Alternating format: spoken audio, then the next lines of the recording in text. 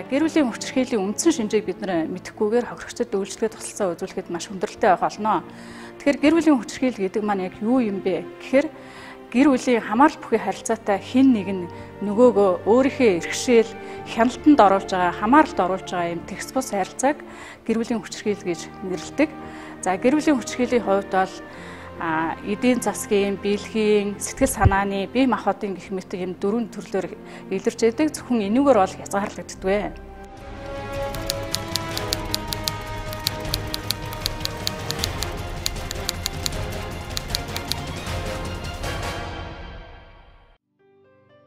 Хүчирхийлэл болж буй газар цагдаагийн ажилтан дуудлагын дагуу очиж хүчирхийлэлд өрсөн хүүхэд болон эцгээс мэдүүлэг авна.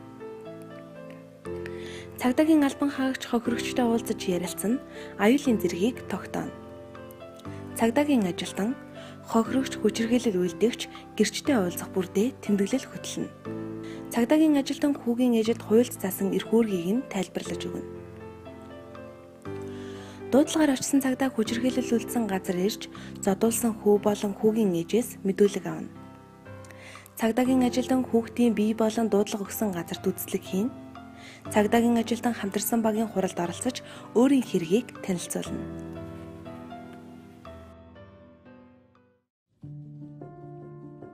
Гэр бүлийн хүчирхийлэлтэд тэмцэх тухай хуулийн цагдаагийн байгууллагын үйл ажиллагаа.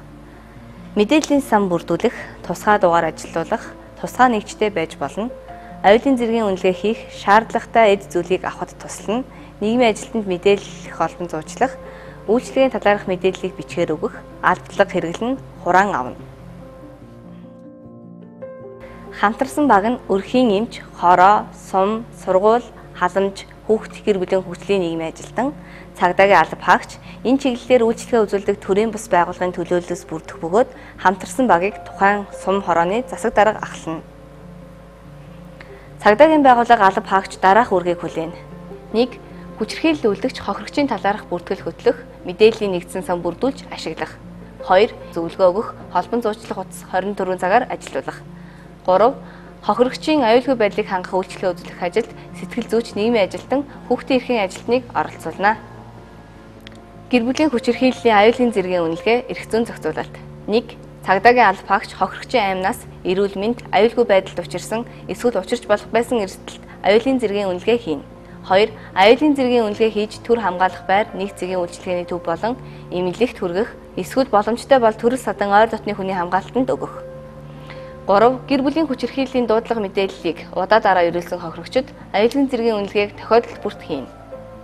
Аюулын зэргийн үнэлгээ гэдэг нь хохирогчийн амнаас эрүүл мэндэд аюултай байдлыг урьдчилан таамаглахад чиглэсэн арга хэрэгсэл юм. Аюул учруулах эрсдлийн түвшин үнэлэхдээ 1. Хүчирхийлэл үйлдэгчийн зан үйлтэй холбоотой эрсдэл 2 хохирогчийн амь насыг хөнөөх магадлал бүхий эрсдэл гэж хоёр хуваана. Аюулын зэргийн төвшинг 3 ангил нь өндөр төвшин, дунд төвшин, бага төвшин. Амь насанд бодиттой занал хийсэн, бие махбодод тохирол учруулсан, тарчлаасан, байнгын дарамтанд байлгасан, галт зэсэг хэрэглэх, байнга согтурах, мансуурах үйлдэлийг өндөр төвшөнд оруулан тооцно. Айлган сүрдүүлсэн, дарамтлсан, дагаж мөшгсөн, ятгсан нөхцөл байдлыг дунд төвшөнд тооцно. Зөвшөөрлөгөө уулзах, сэтгэл санааны дарамт хүүхдийн хүмүүжил хохиролд учруулсан эдийн засгийн дарамтанд оруулсныг бага түвшинд тооцно. Хохирогчид учрах аюулын эрсдлийн түвшин 1. Бага түвшин 0-6 оноо. 2. Дунд түвшин 7-12 оноо. 3. Өндөр түвшин 13 буюу түүнээс их бол өндөр буюу аюултай гэж үнэлнэ. Нөхцөл байдлын үнэлгээгээр гэр бүлийн хүчирхийлэл, хүчирхийллийн болзошгүй эрсдэлтэй байдлыг хохирогчид учирсан эсвэл учирч болзгүй сөрөг үр дагаврыг хохирогчд үзүүлэх үйлчилгээг тогтооно. Аюулын зэргийн үнэлгээ нөхцөл байдлын үнэлгээ нь нэгт хийж буй албан тушаалтнараа, хоёрт хаана хийж байгаагаараа, гуравт хийж буй хугацаагаараа, дөрөвт үнэлгээнээс шалтгаалan хохирогчд үзүүлэх үйлчилгээгээрээ ялгаатай. Хохирогч болон түүний хүүхдийг хүчирхийлүүлэгчтэй уулзуулахыг дараах тохиолдолд хориглоно. Нэгт хохирогч сэтгэл санааны хямрал айдастай байгаа бол хоёрт бэлгийн хүчирхийллийн хохирогч бол гуравт хохирогч болон хүүхдийн эрх, хууль ёсны ашиг сонирхолд харшилахаар бол дөрөвт хохирогч өөрөө уулзахыг хүсэхгүй байгаа бол хүүхдийг хүчирхийлүүлэгчтэй уулзах уулзалтыг баг хороо сумын нийгмийн ажилтан хариуцсан зохион байгуулах бөгөөд аюулгүй байдлыг цагдаагийн байгууллага хариуцна. Цаашид анхаарах асуудал. Гэр бүлийн хүчирхийллийн талаар анх удаа ирсэн дуудлага анхны удаа биш, өмнө нь нэг бус удаа хүчирхийлэл үлдэж байсан болох бүрэн магадaltaй байдаг. Гэр бүлийн хүчирхийллийн хэргийн онцлогоос харахад хүчирхийлэл нь анхных биш, эцсийнх нь ч биш байдаг. Хохирогч болоод гэр бүлийн бусад гишүүд хизээд ч хүчирхийлэл дахин өртөх эрсдэлтэй байдаг. Хохирогч өөрөө хүсэхгүй байсан ч гэр бүлийн хүчирхийллийн гэмт хэрэг шүүхээр орж хүчирхийлэл үлдэгчид хариуцлага тооцох ёстой. Хохирогчийн анхны сэтгэгдэл байр байдлыг баримтжуулахдаа дуудлага өгсөн газар хүчирхийлэл үлдэгч болон хохирогчийн зам байдал гаргаж буй үйлдэлийг бичнэ. Хүчирхийлэл үлдэгч өөрийн гэр оронд хүч чадалтаа бярдсан дээд зэргийн сэтгэл хөдлөлт байдаг болохыг анхаарах. Дуудлага нь хохирогч болон дуудлагаар очсон цагдаагийн ажилтны аюулгүй байдалд халдах магадaltaй байдаг. Хохирогч хүчирхийлэл үлдэгчид арга хэмжээ тооцоолохыг хүсэж байвч хариуцлага хүлээлгэх болоход түүнийг өрөвдөх өмөөрөх хандлага заримдаа гаргадаг. Хохирогчийг хүчирхийлэл үлдэгчийн хажууд асууж хизээж болохгүй Хүчирхийлэл үлдэгч хохирогчийн хүсэл зоригийг өөрөө эзэмшсэн дохио зангаа харц харилцаагаар хорж шахалт үзүүлдэг. Хохирогчийг хамгаалах байранд хүргэх тохиолдолд очихоосоо өмнө хамгаалах байртай уцаар ирж урдчлан хэлнэ. Хүүхдийн аюулгүй байдлыг ханган ажиллахад анхаарах асуудал. Эцэгхийн хооронд болж байгаа хүчирхийллийн зөрчил хүүхдийн сэтгэл зүйд хүн дээр тусдаг. Эцэг эхийнх нь нэгний эсрэг явуулж байгаа цагдаагийн шуурхай ажиллагаа хүүхдэд айдас төрүүлсэн явдал байдаг. Хүүхэд болж буй явдлыг хэд дахин илүүгээр хүлээж авдаг. Хүүхэд ээж аавынхаа талд байж гэр бүлийн нууцыг задруулахыг хүсдэггүй. Насанд хүрэхчдийн хооронд тэр дундаа аав ээжийн хооронд хүчирхийллийг харсан хүүхэд айж төчөрддөг. Хүүхэд ээж аавынхаа айл алинд нь хандаж чадхаа болоод айдсын мэдрэмжүүдтэйгээ ганцаараа үлддэг. Хүчирхийлэл харсан хүүхдүүд үгүйсгэх, зайг авах, уурлаж бухимдах зэрэг өөрийн аргаар айцаа дарж сурсан байдаг. Хохирогчийн хандлага дуу гарахгүй бие барьсан хүчирхийллийн талаарх асуултанд хариулах дургүй. Үгүйсгэх байр суурьтай болсон явдлыг үгүйсгэнэ. Хариугүй жаахан зүйл гэж үзэх ба хүчирхийлэгчийг цагдаагаас өмөөрнө. Цагдаа руу уурлана. Ууртай өмнө нь гомдол гаргасаар байтал цагдаагийн байгууллага хамгаалж чадалгүй ийм байдалд хүргэсэн хүчирхийлэл болоод дуусны дараа ирсэн цаг тухайд нь хамгаалж чадаагүй гихмэгт шалтгаанаас хохирогч ууртай байж болно. Айдаст автсан. Цагдаа дууцсандаа хүчирхийлэл үлдэгчээс айх, цагдаа ирлээ гэд хүчирхийлэл зогсохгүй байх гэж айх, цагдаа хүчирхийлэл үлдэгч итгээд өөрт нь итгэхгүй байх гэж айх хүчирхийлэл үлдэгч хүүхдүүдийг айлган сүрдүүлсэн учраас хууль цагдаа хүүхдүүдийг нь аваад явчихъя гэж айх хүчирхийлэл үлдэгчийг баривчлаад явхад гарч ирээд үлдэх хүчирхийллээс айх хандлагатай байна. Дуудлага мэдээлэл гомдол шалгахад үл хамаарах нөхцөл байдал. Хохирогч хүчирхийлэгч итгээд гэр бүлийн харилцаатай эсэх. Хохирогч хүчирхийлэгч итгээдтэй нэг дор амьдрдаг эсэх. Хохирогчийн биед нүдэнд харагдах гэмтэл бэртэл байхгүй байгаа ажил нийгмийн байдал болон баривчлан саатуулахад гарах үр дагаврууд, хүчирхийлэл үйлдэгчийн урьдчилан амлалт харилцан тохиролцсон байдал, хүчирхийлэл үйлдэгчийн хүчирхийллийг зогсооно гэсэн амлалт баталгаа, эрүүгийн хариуцлага ногдуулахар гэмт хэрэг биш юм шиг санагдах зэрэг нь үл хамаарах нөхцөл байдалд орно. Дараах онцгой тохиолдол байна. 1. Хохирогчийг байнга зодсон, харгас хэрцгийг хандсан, догшин авиралсан, тохуурхсан, даажгалсан, тарчлаасан 2. Хүүхэд жирэмсэн эмэгтэй ахмад настан архаг кууч өвчтөй буюу хөгжлийн бэрхшээлтэй хүний эсрэг хүчирхийлүүлсэн. 3. Хүчирхийлүүлэгч согтуурсан, мансуурсан байдалтай эсвэл байнга согтуурдаг, мансуурдаг бол. 4. Хүүхдэд барьцаалсан, барьцаалж болзошгүй.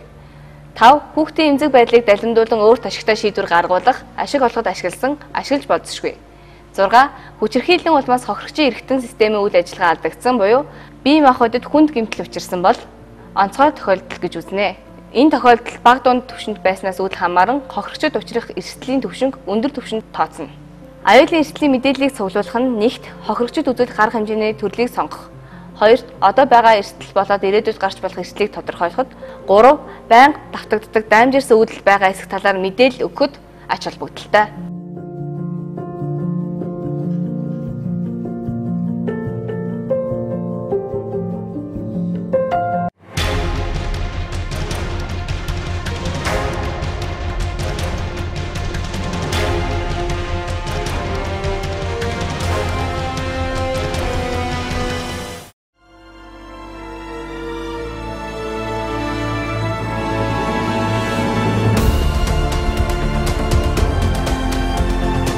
Цагдаагийн байгууллага нь цагдаагийн албаны тухай хууль, эрүүгийн байцаан шийдэх хуульд зааснаас гадна гэр бүлийн хүчирхийллийн шинжтэй, гэмт хэрэг зөрчилтэй тэмцэх талаар дараах үргийг хүлээнэ. Хүчирхийлэл үлдэгч хохирогчийн талаарх бүртгэл хөтлөх, мэдээллийн нэгдсэн сан бүрдүүлж ашиглах, шаардлагатай тусламж зөвлөгөө өгөх, холбон зуучлах утас 24 цагаар ажиллаулах. Тухайн орон нутгийн хүн амын тоо, эрүүгийн болон нийгмийн хэв журмын нөхцөл байдлыг харгалзан цагдаагийн байгууллагын бүтцэд цагдаагийн мэрэгсэн аль пагчдаас бүрдсэн нэгжтэй байж болно. Хохирогчийн аюулгүй байдлыг хангах, үйлчилгээ үзүүлэх ажилд сэтгэл зүйч, нийгмийн ажилтан, хүүхдийн эрхийн ажилтныг оролцуулна. Цагдаагийн алд пагч гэр бүлийн хүчирхийллийг таслан зохицох зорилгоор бусдын орон байранд нэвтрэн орж дараах ажиллагааг явуулж болно. Хохирогч түүний гэр бүлийн гишүүдийн аюулгүй байдлыг шалгах, хуульд заасан журмын дагуу аюулын зэргийн үнэлгээ хийж түүнийг үндэслэн хохирогчийг нэг цагийн үйлчлэгээний төв төр хамгаалах байранд хүргэх боломжтой бол төрөл садан ойр дотны хүний төр хамгаалтанд өгөх. Хүчирхийлэл үйлдэх согтууруулах хундаа хэрэглэхийг зогсоохыг шаардах.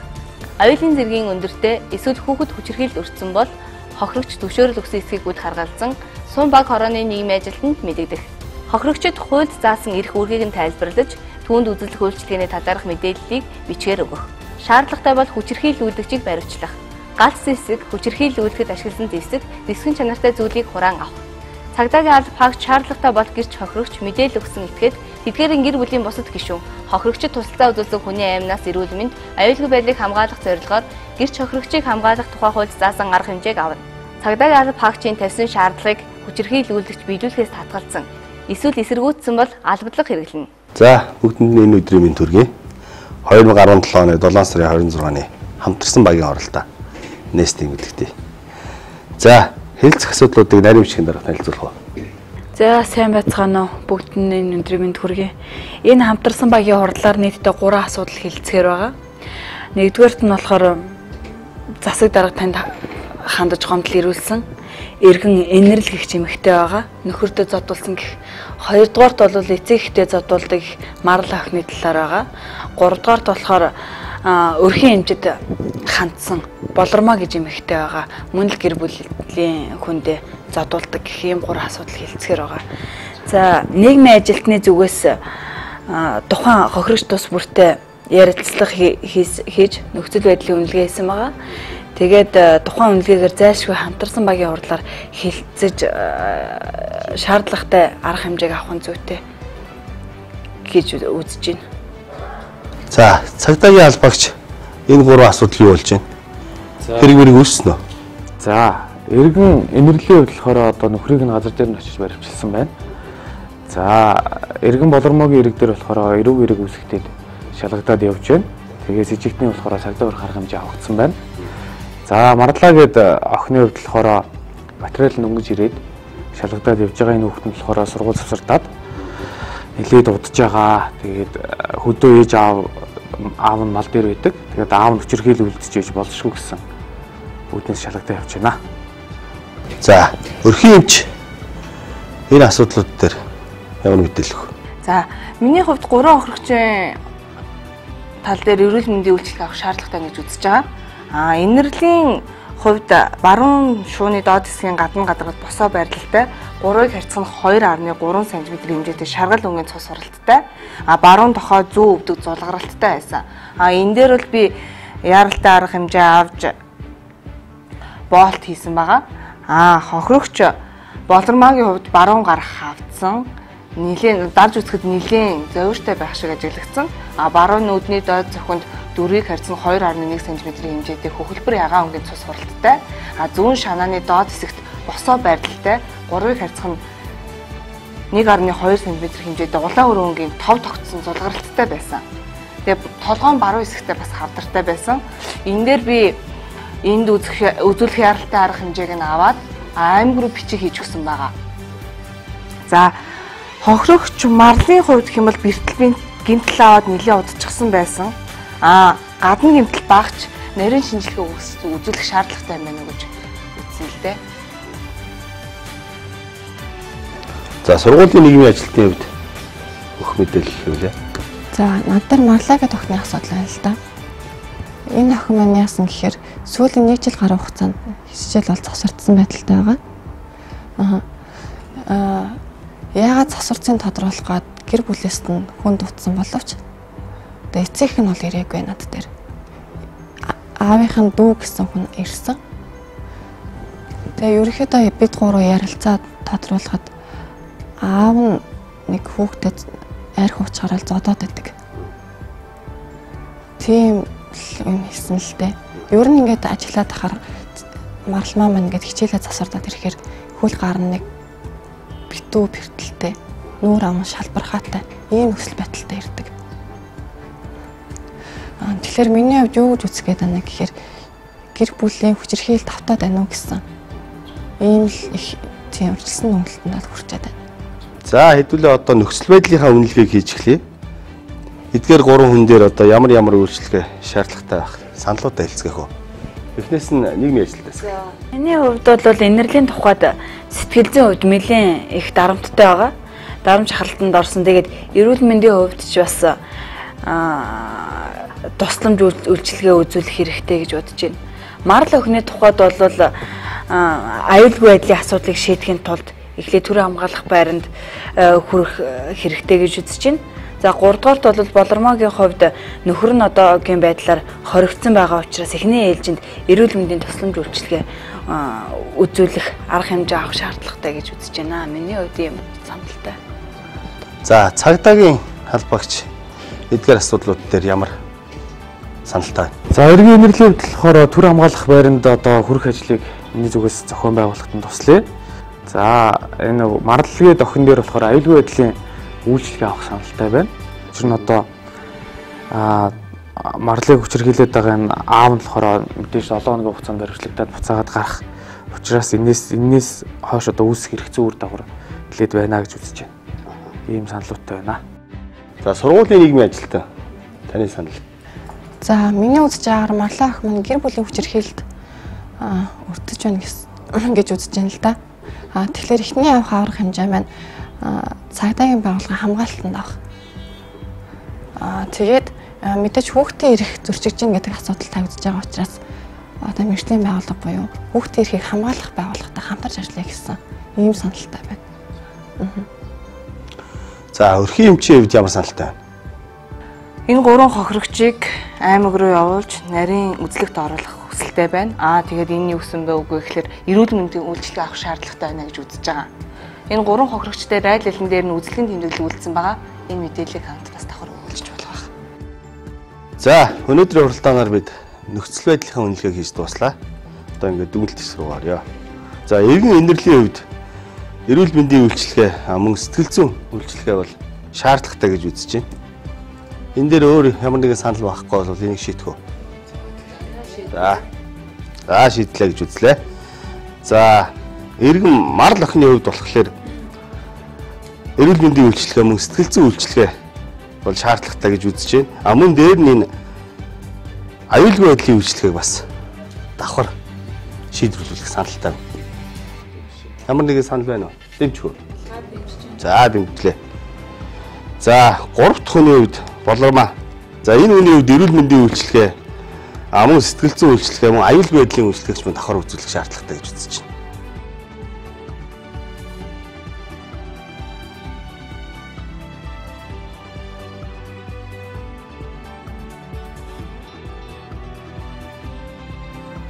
Тэгээ холбогдох хүмүүс нь одоо аймаг руу ярьж эдгээр ажлыг бол зохион байгуулах шаардлагатай.